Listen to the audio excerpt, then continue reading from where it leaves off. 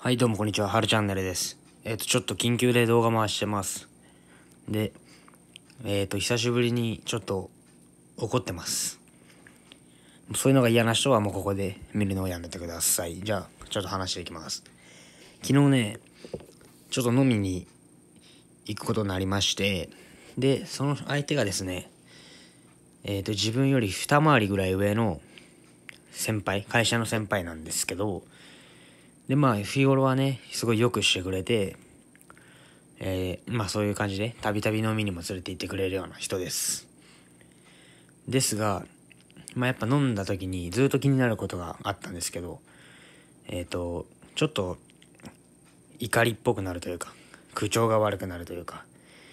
こう喧嘩っ早くなるというかまあ他のお客さんとかにもちょっと睨み利かしてとか喧嘩することもちょこちょこあるとまあいう感じのちょっと嫌な上司。まあ日頃は本当にいいいいんですけど、そう飲んだりしたらちょっと嫌になるタイプの、まあ上司と飲み行ってて、で、まあ、やらしい話、えっ、と、まあお金の方はね、出してくれるんで、まあそれで、っていうかまあ普通に面白いっていう理由もあるけど、それもあり、まあ飲みに、まあ付き合うという言い方はよくはないかもしれないですけど、まあ差し飲みにね、ちょこちょこ付き合うような形で僕は言ってました。で、まあおそらくというか、まあ、話周りの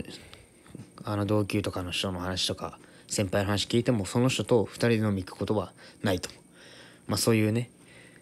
あの悪な部分が出てしまうから飲みたくないと、まあ、そういう声も聞いてたんですよ正直。あの同僚とかにはね。でもまあ自分は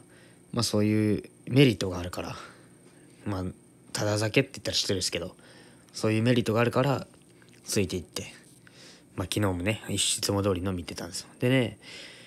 そもそもなんですけどその昔からなんですけど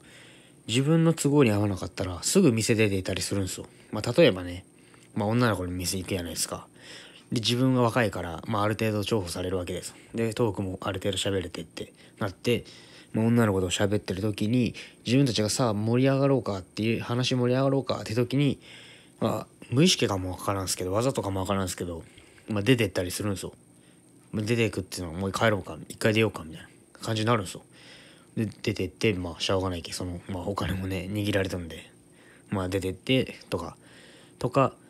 さあ入りました座って何飲むはい何々はい頼みましたでお客さんの層が気に入らなかったら10分ぐらいしたら出てったりとかもうよくしょっちゅうあったんですよ。でもまあそんなんでも目をつぶるというか、まあ、ついていくようにしてたんですけど昨日ねほんとすごかったのがねえー、っとまず一発目着いた時に大体その人のまあ地元の辺で飲むんですけど、まあ、自分が電車でわざわざ行ってっていう感じで着いた瞬間にちょうど座れと。こうこうこうでって。まあ説教会社の説教してきたんですよ。いきなりね。僕まだ酒も入ってない状態で。でまあはいはいはいと、まあ、お金もね出してくれるから。はいはいはいと。でもね自分こういう性格なんでやっぱ言いたいことは言いたいんですよね。でそしたらねやっぱ、まあ、今の若い言葉で言うブーメランばっかだったんですよ本当に。お前さみたいな。こうでこうで。お前そういうのが多いすぎる。いやあんたがねなんならあんたがねぐらいの内容だったんで自分も適当に聞いてたんですよね。はいはいはい。みたいな。ある程度は聞くふりしちゃうんですけど。でまあその違うなと思ったら言い返しちゃったけど全部こう遮って自分が喋りたいみたいな感じで。もうこのトークで生きている自分がほぼ喋らなかったんですよ1軒目。でまあちょっと向こうもイライラしてたんでしょうね多分。そういうの言いたくて。でまあちょっとムードは悪いまま次の店行くと。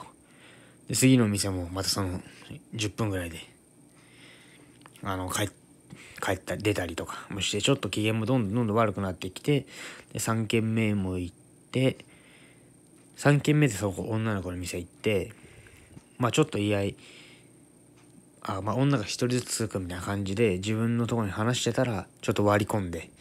ムードを台無しにしたりとか してくるんですよ。もう相当もうその時も結構飲んでたんで向こうは。まあ自分もめちゃめちゃ飲んでも普通ある程度強いんでまあそれでちょっと嫌な感じであんまり楽しくなかったんですよすでに。でも次ぐらいで多分帰ろうかなとかもうなんなら今日がね仕事だったんでなんならもう帰ろうかなとか思いよったら最後の店行って。で普通に自分が歌歌言ってたんですよね。自分まあ歌とかもたまに動画とか出すんでわかると思うんですけどまあそこまで下手ではない、まあ、なんならちょっとそういう店ではうまいと言われるぐらいの感じで歌ってたらそれも多分気に入らなかったんから知らないですけど説教まあ合間見えて説教の後にこんなのこのこ歌いやがってみたいな感じかわからんですけど急にあの演奏中止しやしてえ？また説教っすよね。まあちょっと違う内容で説教されて。で自分もぼんやり今日の仕事もありちょっと酒も入れ入りすぎてて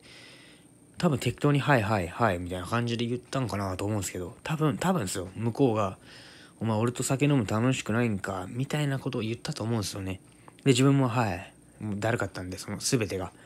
だから多分そこも「はい」って言ってしまったかなんかで「おおそうかそうか」みたいな「あもうじゃあ帰るぞ。出る出るぞお前」みたいな「あもう会計やしまいや」みたいな「お前とはもうしまいや」みたいな。で急にもう店出てみたいな。俺も腹立ったんでさすがにもうお金は出してもらってんですけど腹立ったんで店ボーン出て。で下でまあ外で2人会うやないですか。じゃあもうお前はもうしまいよみたいな。お前との関係はおしまいよみたいな。言い出してもうさすがに腹立ってもうええよと。そんなしそういう飲み方しよったらいつまでたってもあの誰も飲み行ってくれんし自分こそ友達失うよみたいな。友達というか、まあ、上司後輩失うよって言って帰ったんですけどどうすか？もうほんとめちゃめちゃ腹立って。しかも急に切れたんですよ。なんなら一方的に最初はね。だからもう自分からしたら意味が分からなくて。まあこういうね上司がいたという話でちょっとね暴言みたいになってしまったんですけどまあちょっとこれをどどっかで吐きたかったんでまあ差し込ませてもらいました。まあこういうのがねいい良くはないと思うけどまあ好きな人はぜひ聞いてもらってまあ高評価もお願いします。じゃあ今回はこれで終わります。ありがとうございました。